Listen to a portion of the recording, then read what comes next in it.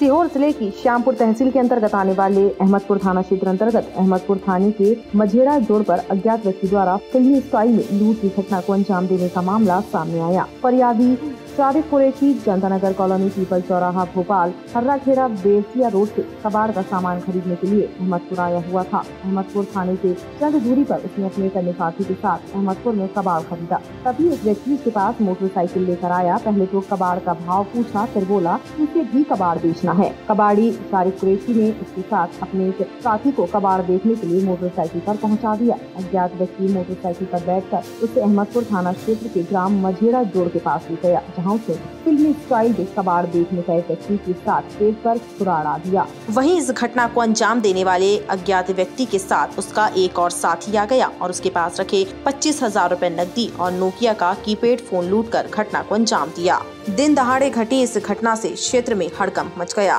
फरियादी ने अहमदपुर थाने में मामला दर्ज करा दिया है। अहमदपुर पुलिस इस पूरे मामले की जाँच में जुट गई है। वहीं बताया जा रहा है कि अज्ञात व्यक्ति ने जिस मोटरसाइकिल से घटना को अंजाम दिया है, उस मोटरसाइकिल पर कोई नंबर नहीं था। अहमदपुर पुलिस इस मामले की जाँच कर रही है और सीसीटीवी फुटेज के आधार पर अज्ञात व्यक्ति की तलाश की जा रही है। दिन दहाड़े लूट की इस घटना से चौक चौराहों पर चर्चाओं का दौर शुरू हो गया है। वहीं इस लूट की घटना से क्षेत्र में सनसनी फैल गई। इसमें कल एक लूट का अपराध पंजीबद्ध हुआ है। अज्ञात आरोपियों के विरुद्ध में घटनाक्रम ये है, एक सारिक नाम का व्यक्ति है, जो हाउसिंग बोर्ड करौन भोपाल का रहने वाला है। ये कबाड़े खरीदने का काम करता है।